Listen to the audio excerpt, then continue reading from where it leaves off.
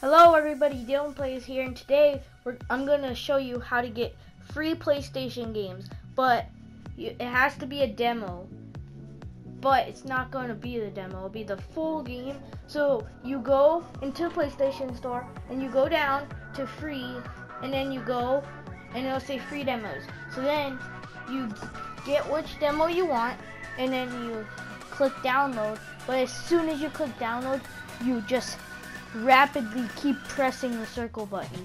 And then you go to the notifications on PlayStation and go to downloads.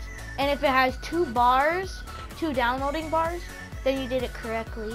And if you didn't do it correctly, it will only have one bar.